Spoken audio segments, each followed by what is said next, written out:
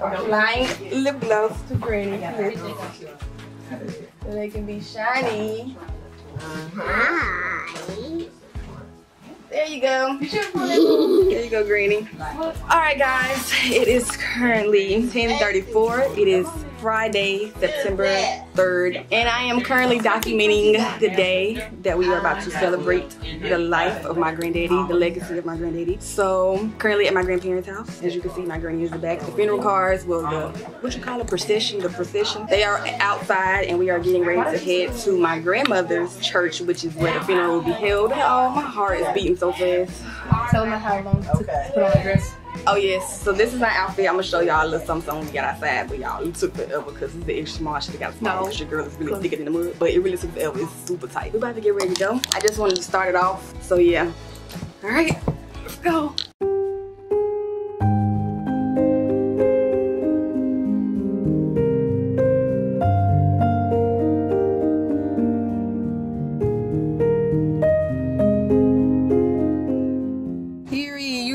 Stepping. Bracelets from granddaddy.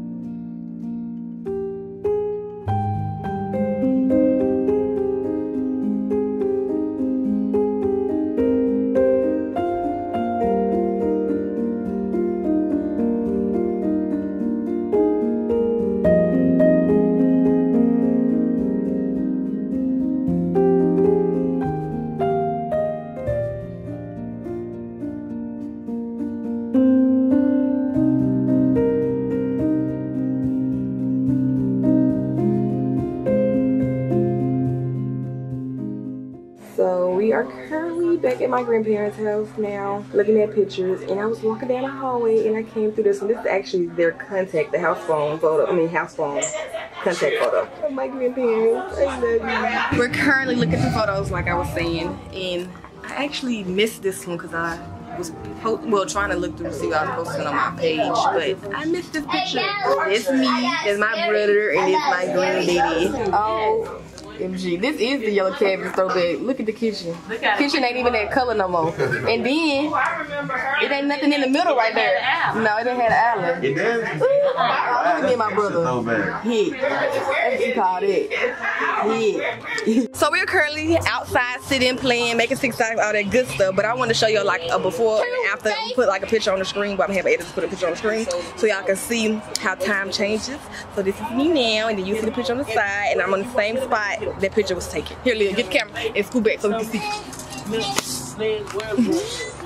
Oh, you edit your videos on there? And then add picture on the screen. Her.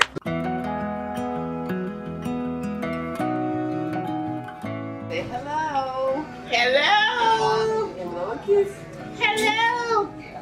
We love you. Granddaddy, you are our hero. Period. Say period, great. Period. Woo. Hello, guys.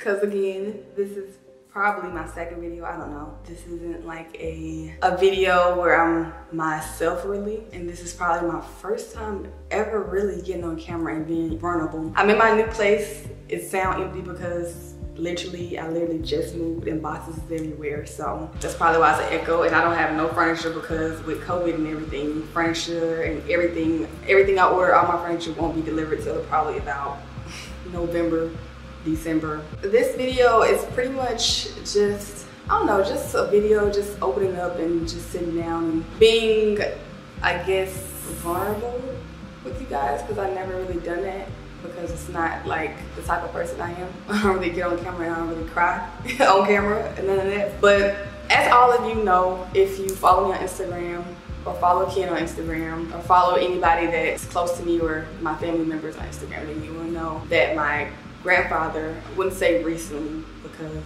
it's been a couple of weeks now that my grandfather passed. And if you watched me and Ken, then you will know that my grand my granddad was a big, huge part of my life. So when it happened, it was just I don't know. It was it wasn't real.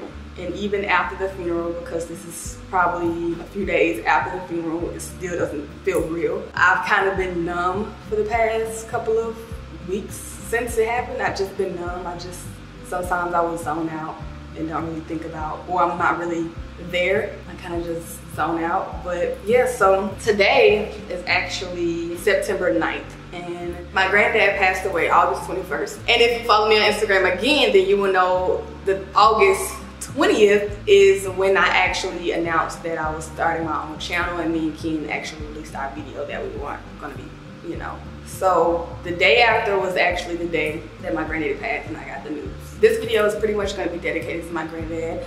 I'm gonna insert clips from when I was back at home on the day of his funeral with my family and everything and clips, old clips from when he was in videos with me and Ken and just a slideshow of pictures and stuff that my cousin actually made for him that we played at his funeral. Life really has a way of just being one thing and then the next is just completely different in like a blink of an eye. I don't know, with my granddad's passing, I really realized a lot and I really thought about a lot. So here is a photo. Well, this is a picture of my granddad's obituary. So you probably seen this art on my Instagram, but that's the picture of it. And my granddaddy was born June 12th, 1936. So dang, my granddaddy was born a long time ago. And if you also follow me on Instagram, then you will know we recently was just down in Memphis because we celebrated my granddaddy's 85th birthday on June 12th, 2021, which is this year. And here it says our hero forever because that's what he was, everybody hero. In here, all the grandkids and stuff wrote little notes to him. And I wanted to pin a note to him, which I wrote on Instagram. I also wrote inside his obituary and it was just pretty much saying, summing up pretty much the, since the day that I took my first breath.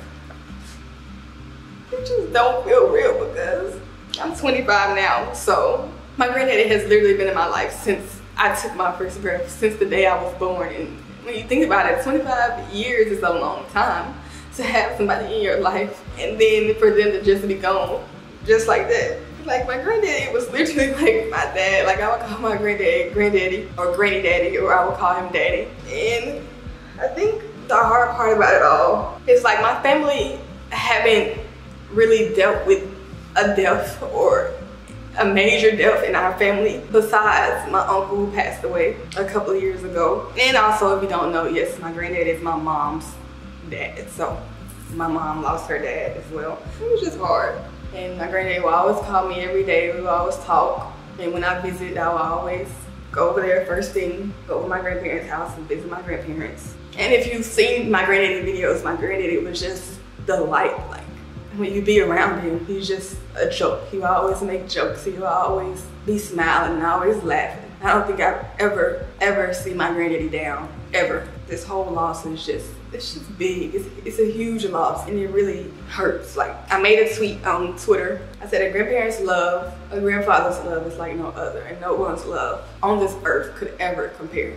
And I mean that. Like nobody's love on this earth could ever compare to my grandparents and my grandfather's love. And it's crazy because a couple of years ago, I don't even know when, but I tweeted like if I ever lost my grandparents, I would go off the deep end. And you really don't know what you would do when a situation like that happens. So since then, I just been numb. Like I just, it, I just, even though we already buried my granddad and everything, it does not seem real. Like it don't feel real and I cannot wrap my head around it. I would never hear his voice again or I would never hug him again or during holidays, he would never show up in his meat coats. It's just a numb, I don't feel it. So sometimes I have my moments where I sit and I think and it pops in my head and then I cry. I have my granddaddy's jewelry box. They say J. Tay James Taylor. So this is his jewelry box with his watch and his necklaces in. So it's literally his cross necklaces. This is his pocket watch. I have that. I have his watches he always wore.